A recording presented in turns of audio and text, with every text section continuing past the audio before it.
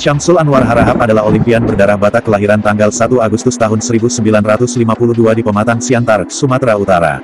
Merupakan salah satu petinju amatir terbaik yang pernah dimiliki Indonesia. Prestasi hebatnya sangat konsisten, bertahan selama sekitar 14 tahun di event bergengsi dengan level nasional maupun internasional. Dalam kurun waktu tersebut ia telah melakoni 139 pertandingan dengan reputasi 123 kali menang, hanya 16 kali kalah dan tidak pernah kalah KO. Kejuaraan di level nasional yang pernah diikuti antara lain Pekan Olahraga Nasional PON, dan kejuaraan tinju nasional Kejurnas.